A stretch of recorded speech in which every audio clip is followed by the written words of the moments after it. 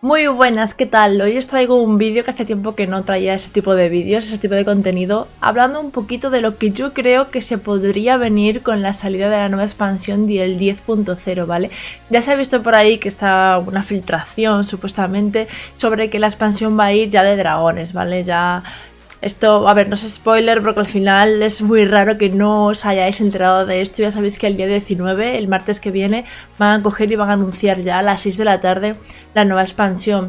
Dependiendo de qué salga en este vídeo que van a sacar, porque ya sabéis que últimamente lo que hacen es sacar vídeos en YouTube con una preedición y demás que no es en directo, sino que ya directamente te enseñan cosillas, charlan y demás, como pasó con el parche del 9.2 de Cered Mortis, la nueva raid, etcétera, en el que nos mostrarán el anuncio de la expansión y sobre todo es muy importante ver qué nos van a traer en este vídeo, porque si te enseñan un contenido ya bastante avanzado, bastante desarrollado, significaría que la expansión es inminente y es bastante probable que salga este año 2022. Si nos enseñan poquita cosa, como pasó con el 9.1, no sé si os acordáis, que también sacaron un vídeo en el que nos decían más o menos de qué iba a ir el parche y nos enseñaron apenas unas imágenes, no había vídeos de gameplay, no había absolutamente nada, solamente había fotos y encima fotos un poquito en plan de modelos o fan arts, de, bueno, fan arts más bien artes de, de estas zonas como por ejemplo Tazabes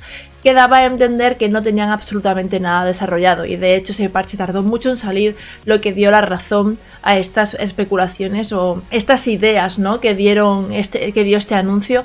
Entonces bueno es muy importante esperar a ver qué es lo que nos van a enseñar en este vídeo. Ya os digo que si enseñan ya directamente zonas nuevas la clase nueva que yo espero que haya clase nueva y también sacan cosas a lo mejor de que va a ir incluso la primera raid es muy probable que el parche eh, la expansión salga este mismo año. Si en este vídeo, en este anuncio, apenas enseñan cosas, solo enseñan modelos, dicen que de qué va a ir, pero no hay mucho gameplay, no te enseñan muchas escenas, vídeos dentro del juego, es porque no están tan avanzados como a lo mejor deberían ir y es posible que la salida de expansión se vaya incluso para el 2023. Pero bueno, eso aún no ha llegado, así que ya lo veremos cuando llegue. Este vídeo lo voy a dedicar en hablar un poquito en las cosas que yo como jugadora metería en el juego. Gracias a que Mike Ibarra está muy metido ahora en el tema, se nota mucho que la experiencia o, las eh, vivencias de alguien que sí juega al juego eh, están viéndose luego en el juego, ¿no? Es muy importante que una persona que juega a World of Warcraft sea también una persona que tiene que decidir los cambios de este juego, porque tú hay muchas veces que hasta que no juegas y pruebas lo que está pasando, no eres consciente de si algo está funcionando o no. De hecho, durante muchos años, cuando Blizzard anunciaba algún cambio, nerfeo, modificación, Decíamos, pero jugáis a vuestro juego porque no tenía sentido las modificaciones, nerfeos y cosas que hacían. En cambio, desde que este señor ha cogido el volante, ha cogido las riendas de la empresa, se nota mucho que él juega al juego y no a cualquier tipo de contenido, sino que hace absolutamente todos los contenidos y que le gusta todo. Y se nota mucho porque los cambios importantes que hacen falta los suele meter inmediatamente e incluso las modificaciones de cosas que no funcionan no tardan en un parche entero en sacarlas o en modificarlas, sino que los cambios suelen ser pues están siendo inminentes. Así que bueno, voy a empezar hablando de qué es lo que yo creo que debería traerse en el 10.0. Voy a decir más o menos las cosillas y más o menos diciendo, especificando en qué, a qué me refiero con cada una de las cosas. Bueno, como siempre tendremos que levear en la expansión, yo supongo que serán 10 niveles debido al nerfeo de nivel que sufrimos en Shadowlands, que era el nivel máximo de 60.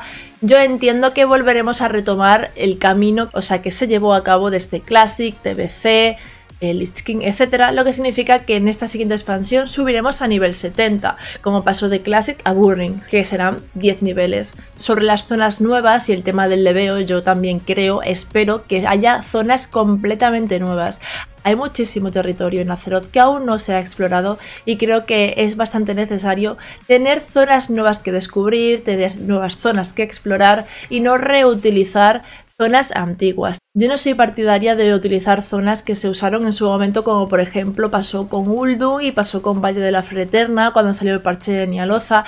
Yo soy más partidaria de que haya zonas nuevas con un lore nuevo y con un territorio nuevo, ya que al, el, reciclaje no me parece mal, sobre todo si tienes que ir a la zona, pues para hacer una cadena de misiones específica o para hablar con algún NPC específico o para incluso conseguir alguna cosa específica, ¿no?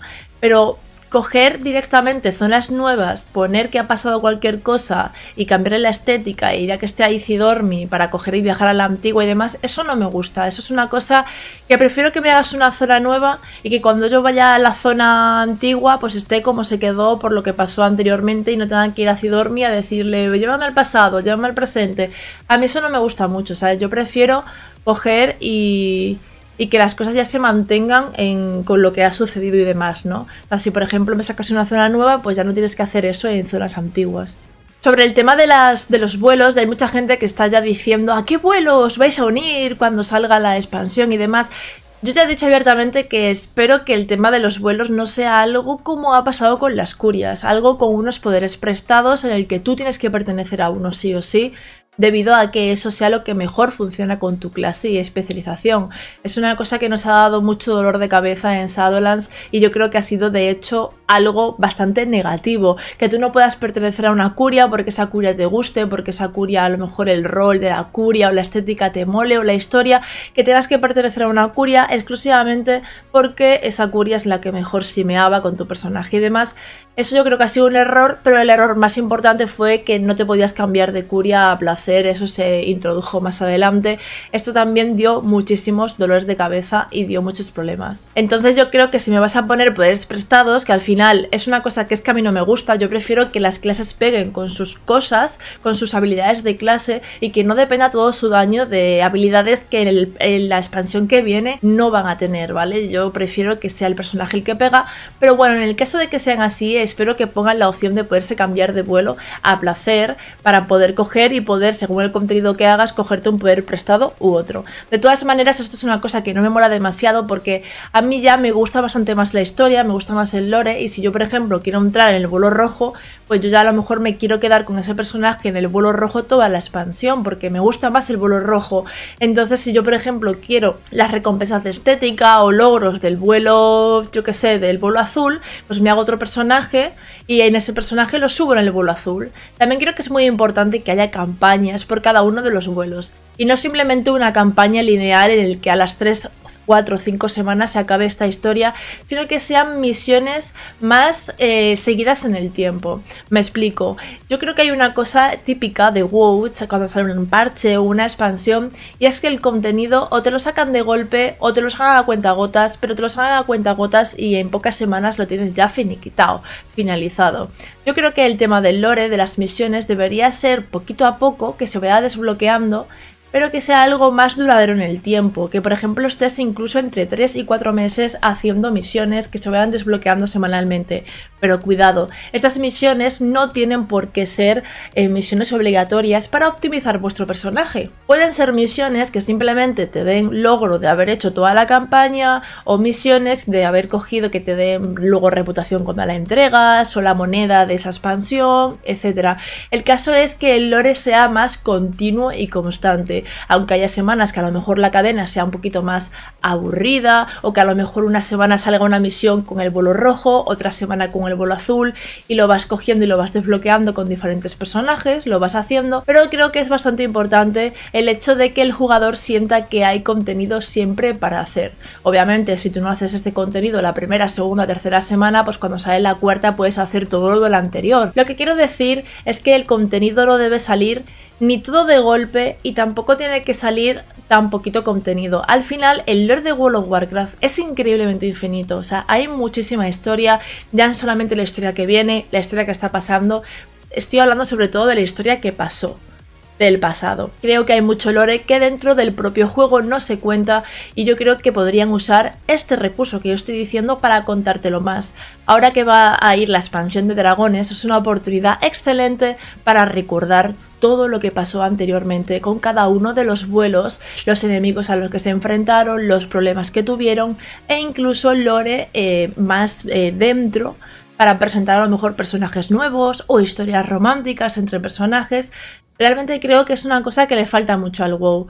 La pueden coger y pueden meter unas gestas en el que vayas viajes al pasado y veas lo que pasó en el pasado, cosas que solamente se ven reflejadas en novelas, para que el propio jugador pueda vivir eso que ya sucedió o lo que está por suceder. Creo que esto es bastante importante ya que el público de WoW es un público que mm, ha crecido con el juego. O sea, nosotros cuando éramos más chicos jugábamos a juegos que hoy día no creo que jugáramos o los hemos dejado. Hay algunos que sí, pero la mayoría de juegos que jugábamos con 15, 16 años actualmente no los jugamos. En cambio, mucha gente que sé que empezó con 15, 16, 20 años a jugar al WoW, actualmente sigue jugando o sigue viendo la historia, sigue siguiéndola. Entonces creo que es bastante importante que Blizzard se dé cuenta de la importancia tan grande que tiene actualmente el lore y la historia del juego. Es algo que ha pesado muy negativamente sobre Shadowlands. Shadowlands, aunque es una expansión magníficamente excelente en lo que a jugabilidad se refiere, a lo que en farmeo se refiere y demás. El retraso entre el de contenido entre un parche y otro, eh, el, bueno, el recorte de un parche entero y sobre todo la mal gestión y la mala narración de la historia es lo que ha provocado que la expansión se haya convertido en un meme y no sea nada valorada. Eso es un problema debido a que parece ser que incluso los guionistas se contradicen entre ellos. En una cadena de emisiones te dicen una cosa, luego en una novela te dicen otra y luego en una cinemática de después te dicen otra cosa diferente. Eso es un problema de comunicación entre la gente que está trabajando en contarte la historia. Yo puedo entender que la empresa tenga sus problemas, sus más y sus menos, pero esto es una cosa que no puede pasar en una empresa que maneja tanto dinero como son ellos. Sin irme tanto por las ramas, simplemente deciros que a mí me gustaría mucho que pusiesen eso, campañas por cada uno de los vuelos, un lore que se vaya desbloqueando semanalmente y dure de entre 2 a 3 meses o incluso lo veas desbloqueando, pues subiendo reputaciones o lo que sea, como pasó en Battle for Azeroth con la reputación de Zandalar. También deciros que hay un detalle muy interesante y es que, por ejemplo, eh, si tú coges todas las cinemáticas de Battle for Azeroth y todas las cinemáticas de Shadowlands, la duración es más o menos equivalente. Sí que es verdad que Shadowlands hay un parche que tuvo menos, pero también es cierto que Shadowlands ha tenido cinemáticas por cada una de las cuatro curias, mientras que Battle for Azeroth solo tuvo cinemáticas y las alianza o era sorda. Entonces ahí como que Shadowlands es normal que tenga más cinemáticas porque el tema de las curias ya simplemente dobla la posibilidad de cinemáticas y demás. Aún así, decir que Shadowlands solamente ha tenido una única exclusiva cinemática en CGI y es la del propio tráiler de, expansión, ya que la CGI tráiler que salió, que salía en las zonas, Maldraxxus, Underworld y tal, no lo cuento porque realmente no es una cinemática tipo de lore y tal como lo que tuvimos en Battle for Azeroth. Eso también creo que ha sido una dejadez importante que se ha visto muy reflejada en el descontento de la comunidad y creo que la siguiente expansión debería tener más cinemáticas de este estilo. Así en estas misiones pues podría meter pues, contenido que solamente podrías leer en novelas o cosas del pasado para refrescar, aprovechando que está el vuelo de, viajar en el tiempo, pues te pueden coger y te pueden meter que en, en esa propia campaña o en esas propias misiones de ese vuelo, pues se dediquen a viajar al pasado y contarte cosas que pasaron. O no sé, yo creo que historia para contar tienen, imaginación y, y, contenido y material para hacer tienen de sobra. El caso es que, pues que lo hagan, ¿no? Sobre el tema de Míticas Plus y de la banda y demás, ya hemos visto que las Míticas Plus es algo que desde que salió en Legión ha ido mejorando, ha ido teniendo más y más éxito entre los jugadores y hay que coger y hay que retocar más este tipo de contenido. ¿Qué pasa con las Míticas Plus? Las Míticas Plus tienen varias carencias y varios fallos que provocan que pueda ser un contenido frustrante para hacer a ciertos jugadores. Hay gente que solamente se dedica a Míticas Plus y en este último parche, el 9.2, se han visto muy frustrados y han vivido que no se les invitaba a Míticas Plus porque no tenían el bonus de dos o de cuatro piezas del tier. Esto es muy frustrante, yo lo entiendo perfectamente, no lo he vivido porque he tenido suerte de raidear y conseguir el bonus de 4 muy rápido, pero sí que entiendo esta frustración por parte de los jugadores y la comparto. Entonces yo voy a traer aquí una posible solución que podría traer Blizzard a este tipo de situaciones. Para empezar, tanto en Míticas Plus como en Raid el contenido o los objetos que caigan deberían ser exclusivos de funcionamiento en ese contenido. Eso es una cosa que ya ha existido anteriormente con las gemas de dominación del parche 9.1. El bonus de las gemas solamente funcionaba en Raid, mientras que las gemas individualmente sí que funcionaban en Míticas Plus aunque sí que yo creo que deberían sacar unos tiers específicos por cada una de las eh, de los tipos de juego, ya sea Míticas Plus o de Raid. Aunque luego el tier sea el mismo y la funcionalidad sea exactamente la misma, pero que si no has sacado el de Míticas Plus, no puedas usarlo en Míticas Plus y viceversa. Y así la obtención en Míticas Plus, pues lo pueden poner con algún tipo de moneda para que lo compren en el intendente y puedan conseguirlo más a menudo o que pueda caerte haciendo Míticas Plus, que aparte del loot normal, pues en, esas, en esos cofres de Míticas te pueda caer también el tier. ¿Por qué? Porque básicamente hay gente que no raidea. Entonces la gente que raidea sí que es verdad que tiene, pues a ver, si raideas, pues obviamente te equipas antes.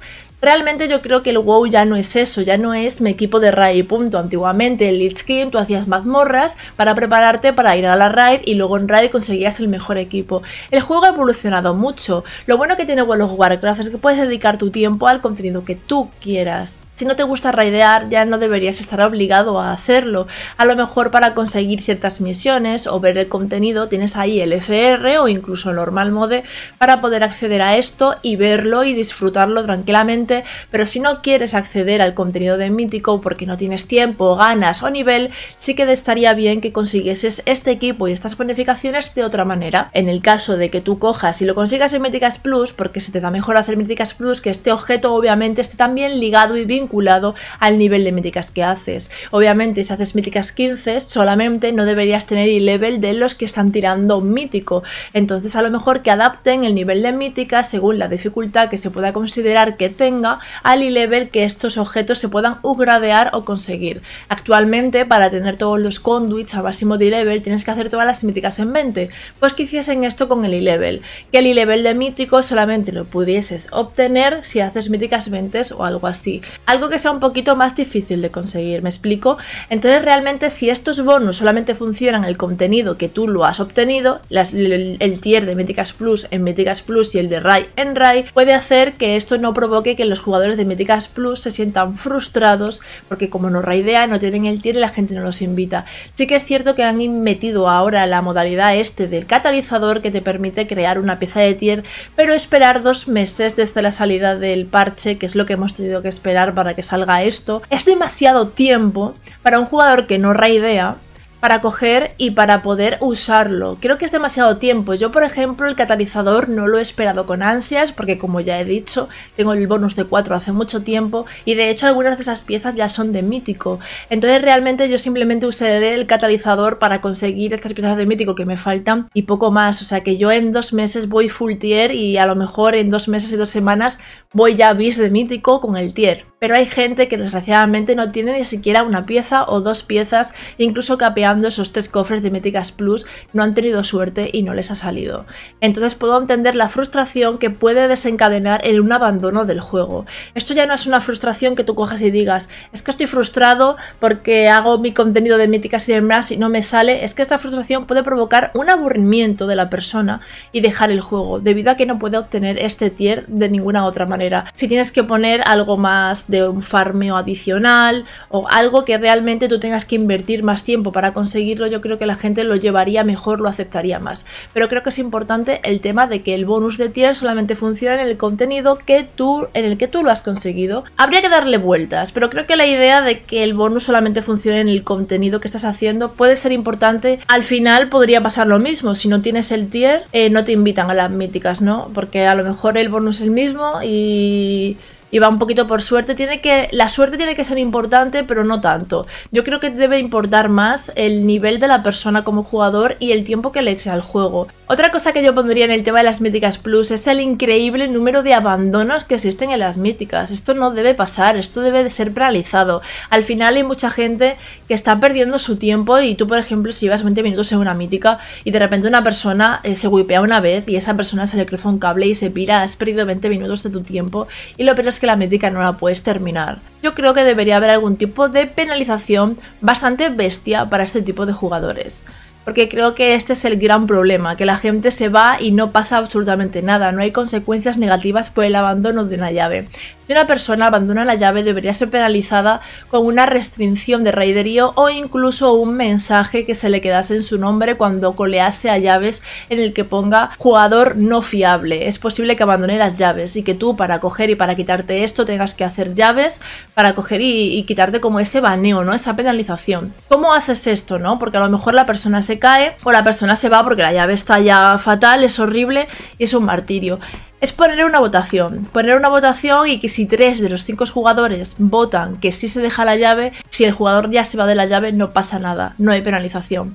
Debería existir esta penalización porque realmente frustra mucho. Por ejemplo, yo hace unos días fui a una mítica, estábamos en una 18, hubo un pool que salió medio regular, no pasó nada, la llave se hacía de sobra igualmente. Y hubo una persona que se fue y 20 minutos de nuestro tiempo se fue al garete porque una persona decidió que eso ya no lo soportaba su cabecita. Entonces se marchó. Y esto es una, no es una cosa que pase una vez, sino que pasa demasiado. Sobre todo en míticas bajas pasa mucho. En míticas altas es más diferente porque a lo mejor está haciendo una 23 y pasa un wipe y a lo mejor pues todos los que están ahí lo que quieren es timear la llave, ¿no? Entonces pues ya es todo, bueno chavales, bien jugado y tal, no, qué, pena, ¿no? Ha pasado tal y cual y se va todo el mundo, pero porque la gente lo que quiere es timearla, no, no, no terminarla para capear ni nada. Entonces esta gente, si es su votación, en plan votamos, si tres dicen que sí, pues ya está, se, acaba la llave, se, termina la llave. Y si alguien se va porque sí, pues que esta persona, como ya digo, tenga una paralización, pues que pierda raiderío o que se le ponga algún tipo de, de iconito que ponga jugador no fiable. Algo de eso para que la gente se piense dos veces si abandonar la llave o no. No quiero tocar mucho el tema de PvP porque realmente no lo consumo demasiado, pero sí que hay algún tipo de contenido que me gusta mucho y es el PvP de mundo, cuando hay guerras de mundo. Esto que voy a decir ahora mismo seguramente no está compartido por muchos de vosotros, pero yo creo firmemente que el War Mode debería desaparecer. El tema del PvP y el War Mode On debería estar activo en todo el mundo todo el tiempo. Me explico un poco. Por ejemplo, cuando tú coges y sales, imagínate que Cered Mortis, ¿vale? Vas a hacer Mortis y de repente se crea una batalla campal, pues que a lo mejor si hay una batalla campal en esa zona específicamente, tú puedas escoger escoger luchar o no luchar. En vez de meter War Mode, tú se te matan una vez o te matan dos veces y tú has escogido, eh, te sale una opción de quieres luchar, no quieres luchar, pues que a lo mejor te salga una opción de no quieres luchar y que la gente durante un tiempo no te pueda pegar o que incluso esas personas que te cogen y te pegan sean penalizados de algún tipo de manera porque tú has escogido no luchar, pero obviamente al tú no luchar, si tú le pegas a alguien con eso puesto a ti te penaliza, ¿vale? Es como es el War Mode, pero no es el War Mode realmente, ¿sabes? O sea, yo creo que el tema del PvP de mundo es algo muy importante porque mola mucho, es muy divertido. Entiendo que el lore no tenga mucho sentido y más si la Alianza y la Horda ahora van a hacer contenido juntos, pero yo no me lo he pasado tan bien como pegándome con la gente por el mundo, la verdad. Yo creo que es de lo más divertido que yo he hecho en este juego. Entonces realmente creo que ahí tienen que darle también una vuelta e intentar reducir ese lag que se provoca cuando hay muchísima gente en el mismo mapa, en la misma zona, tienen que intentar fomentar más eh, este tipo de contenido porque creo que es muy divertido y me da mucha pena que se esté quedando un poquito en el olvido, ¿no? Que se esté quedando un poquito atrás. Esto es una opinión mía porque creo que es un contenido muy chulo cuando se formaban ahí esas guerras en Gatar o en Drusbar y demás. Lo que pasa que a medida que entraban más y más players, al final el juego era insostenible y había mucho lag y el juego iba fatal. Obviamente si cogen y meten esto, tienen que arreglar ese problema. Voy a hablar un poquito ahora del housing y que yo creo que ya toca que en esta expansión sea la expansión en la que el housing por fin entre al juego. Realmente creo que es importantísimo que este tipo de contenido entre al juego, ya que ya ahora es raro el MMO que sale que no tiene este tipo de, de, contenido, ¿no? De juego. Realmente el housing en WoW es una cosa que se lleva pidiendo muchísimo, muchísimo tiempo. En Draenor tuvimos una especie de housing, pero eso no es housing ni es nada. Al final eran unas ciudadelas que la única diferencia que había real entre una y otra es si eras de la Horda o eras de la Alianza, o sea, al final era una mierda, ¿vale? O sea, dicho aquí claramente. Entonces, realmente lo que hace falta es un housing real. Es un housing donde tú vayas, por ejemplo, a Grimar y tengas unas zonas, unas casas en concreto que tú puedas coger y puedas obtener. Pues, por ejemplo, si no puedes, si no tienes reputación exaltado con Ogrimar, pues esa casa no la puedes coger y que las casas sean instanciadas. Tú cuando llegues allí en el servidor en el que estás ponga pues menganito, fulanito y menganito y tal, pues tienen esta casa. ¿A cuál quieres entrar? Y la que tenga más puntos, pues sea la casa que aparece. Como pasa, por ejemplo, creo que es en el New World, creo que el housing funciona de esta manera. Creo que el housing podría coger y podría traer de nuevo a la vida, renacer esos eventos de año, como por ejemplo son San Valentín, Halloween, Navidad, y podrían traer muchísimos cosméticos nuevos, porque yo por ejemplo actualmente estos eventos salen y para mí es como, ¿hay algo nuevo? No, pues next. Las dos semanas que sale el evento me da exactamente igual porque no hay nada nuevo para mí, no hay nada nuevo que me interese. Entonces realmente creo que el housing podría traer de nuevo estos eventos a la vida. También podrían traer más cosas a la tienda, creo que la tienda de WoW es bastante irrisoria y triste en comparación con juegos más jóvenes que tienen tiendas que son hasta 10 veces, 20 veces más grandes que la de World of Warcraft. Entonces realmente creo que también podrían traer pues unos pases de batalla en el que haya eventos específicos de pues ahora mm, puedes comprar con el pase de batalla y obtener decoraciones basadas en dragones o decoraciones basadas en el vacío, decoraciones basadas en la legión ardiente. Entonces yo creo que eso es una cosa que es importante y que deberían coger y deberían traerlas porque, ope, al final yo creo que incluso las personas que dicen que el housing pasan del housing, que no les interesa, que no les gusta, pues yo creo que hasta esa gente al final acabaría haciéndose su casita y sus cosas. También podría traer de alguna profesión nueva, ¿vale? Que esté así chula y, y también darle más importancia a las profesiones actuales. actualmente las profesiones, aunque con algunas se saca bastante dinero, en plan alquimia, la de los legendarios que ha habido y demás, Creo que las profesiones al final eh, tienen como mucho boom durante un tiempo, pero luego a medida que avanza el parche o la expansión, pierden importancia. En cambio, con el housing se le podía dar un protagonismo individual a cada una de las profesiones antiguas y poder coger y poder eh, utilizarlas de nuevo y darles un poquito de vida. De hecho, arqueología es tal vez de las profesiones así más que no son de sacar dinero, pero son de coleccionista y es como vale, saco cosas de arqueología, pero realmente es como, vale, pues ya está, no vale para nada más, ¿no? Pues bueno, pues que aquí puedas sacar cosas pues para decorar tu casa y darle mucho más vida y mucha más profundidad a estas, estas profesiones y bueno, y renacerlas básicamente. Sobre el tema del lore y el tema de las campañas, también me gustaría que, añadiesen, eh, aparte de más cosas de la armadura dinástica, porque ya sabéis que hay razas que aún no han tenido su, o no tienen más bien, su armadura dinástica por ahí, que esto incluye una cadena de misiones bastante chula, en el que hablan un poquito de la raza o hablan un poquito de, cosas eh, a lo mejor históricamente relevantes, ¿no? De esta, de esta raza y demás, como por ejemplo pasó con los elfos de sangre. Aunque esto falte, también creo que deberían añadir más, por ejemplo, los cazadores de demonios. Yo siempre he sido muy partidaria de pensar que Sargeras e Illidan están ahí en una ventanita de cristal que pone romper en caso de emergencia. Entonces realmente creo que podrían usar a los cazadores de demonios para introducir un poquito de nuevo este lore o para dejar por ahí pistillas y cosas. Por ejemplo, estaría guay que Khadgar se presentase ante los cazadores de demonios y le cogiesen y le dijesen hemos encontrado una energía que se parece mucho a la de la legión y me gustaría que vinieses a ayudarme a ver qué es lo que está sucediendo. Obviamente, esta cadena de misiones solamente les saldría a los cazadores de demonios, ¿vale? Estoy hablando de una campaña personalizada solamente para esta clase, ¿vale? Y que al finalmente, pues este poder, por lo que sea, llegas allí y ves que efectivamente es un poder demoníaco, entonces tú como Demon Hunter lo que haces es absorber este poder para intentar ver de dónde procede y que esto salga como mal. Entonces tú, al absorber este poder, el Demon Hunter, el cazador de demonios, obtenga su por fin tercera rama de talentos y nueva especialización. Y que sea pues a lo mejor un caster o otro tipo de melee, con otra rama diferente o algo así. Creo que esto podría molar mucho, esto es una idea que se me ocurrió a mí hace tiempo. Y no sé, yo creo que podría estar guay porque encima ah, te dan la rama, la tercera rama, y al mismo tiempo te están introduciendo que por ahí hay algo raro de la Legión. Al final Sargueras no ha sido vencido, no, ha sido no hemos acabado con él. Entonces eso al final es una puerta abierta que está ahí y que puede traerla a Blizzard cuando quiera en algún momento. En Shadowlands, debido al funcionamiento de las expansiones de una clase nueva aquí, en la siguiente no, en la siguiente sí, pues en Shadowlands debería haber salido una clase nueva, pero no salió. Por lo que yo entiendo, espero y confío en el que en esta siguiente expansión del 10.0 salga una clase nueva. En este caso debería, por, el, por, por lo que parece que va la expansión, ¿no? Ser tipo dragonante o algo así. Esto podría traer de nuevo una nueva clase que tenga cuatro especializaciones, ya que debido a la gran variedad de vuelos, podría ser que esta clase esté enfocada en los diferentes tipos de vuelo que hay. A ver, sé que hay más vuelos que cuatro especializaciones, pero bueno, puede haber vuelos mezclados ahí en algunas, ¿sabes? Y que a lo mejor sea pues eso, tanque healer de PSML de PS rango y que tenga cuatro especializaciones y que cada una de ellas esté basada en uno o dos dragones aspecto.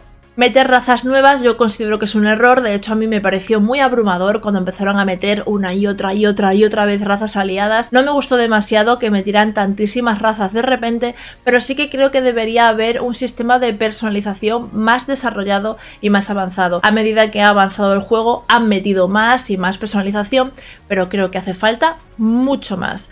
A medida que vamos viendo el funcionamiento y obtención de dinero real de otros juegos, hemos visto que la personalización es muy importante. A la gente le gusta mucho ponerse cosas cookies o que su personaje parezca ahí súper fuerte, súper grande, guay, imponente es muy importante que la gente sienta una diferenciación de unos personajes a otros. Realmente en este juego la personalización es un poco un engaño, ¿no? Porque te sacan un set nuevo y básicamente te cambian el color de este set según la dificultad o el contenido en el que lo estés obteniendo. Pasa un poco como con las monturas. Actualmente Shadowlands es la expansión donde más monturas de esa expansión en concreto hay por conseguir. Modelos nuevos como tal, o sea, tú coges las monturas y las separas por modelo diferente y luego recolors.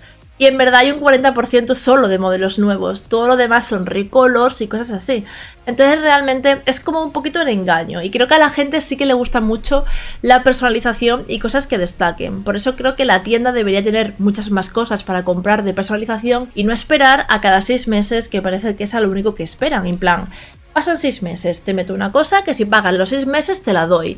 Como que solamente sacan cosas para que tú renueves. Y yo creo que la tienda debería ser mucho más grande y debería haber muchísimas más cosas para comprar. Ya sean pijamas de esos enterizos, de tipo Murloc, como el de Jetty pero en un Murloc, o, de otras cosas, ¿sabes? O sea, yo creo que debería haber muchísimas más cosas, mm, reciclar otra vez y traer de nuevo los yelmos estos que había en el pasado de hielo, de corona de fuego y demás.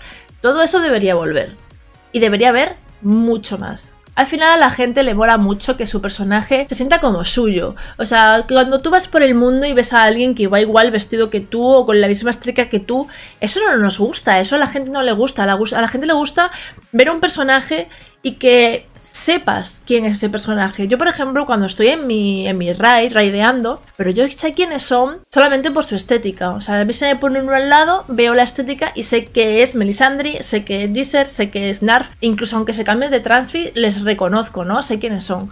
Pues esto también debería ser más así, que haya una personalización. En conclusión, la verdad es que al final quería, quería hacer un vídeo corto, pero creo que se ha quedado un vídeo al final bastante largo. Espero no haberos aburrido demasiado y espero que, que compartáis mis opiniones. Seguramente me deje alguna cosa y me digáis, fue, ¿qué opinas de tal? ¿Qué deberían hacer con tal? Y es como, pues de verdad, no lo he dicho en el vídeo, debería haberlo dicho. Al final son muchas cosas, las expansiones suelen traer mucho contenido nuevo. Obviamente no he mencionado contenido nuevo exclusivo de la expansión, como por ejemplo fueron las expediciones, los frentes de guerra, en Battle for Azeroth o en Shadowland Torgas. Los eventos tipos así de contenido individual, de desafío individual, creo que es importante de introducir, pero siempre que estén adaptados a que todas las clases en todas las especializaciones se lo puedan pasar individualmente y no necesiten de ayuda adicional para poder cumplir o finalizar este contenido, ¿no? Entonces sí, ¿este tipo de contenido me gustaría? Sí, pero que esté bien hecho y que realmente haya una recompensa real detrás de esto. Y bueno, lo dicho, seguramente me deje cosillas y tal, pero me gustaría saber qué opináis vosotros, qué os gustaría, qué no nos gustaría. Y nada, esperando con ansias el anuncio de la expansión. El martes a las 6 de la tarde haremos un stream, un directo en el que veremos juntos eh, estas novedades. O a lo mejor no, a lo mejor el, martes me, me, levanto y digo, pues hoy no hago stream. Mañana miércoles ya hago un resumen y lo vemos todo. Ya veremos cómo me despierto ese día, si con el pie izquierdo o con el pie derecho. Y ya vemos qué hacemos. Pero bueno, espero que os haya gustado el vídeo, ya veréis qué os ha parecido y qué queréis vosotros que traiga el 10.0. Nos vemos en el próximo vídeo. Akuna Matata.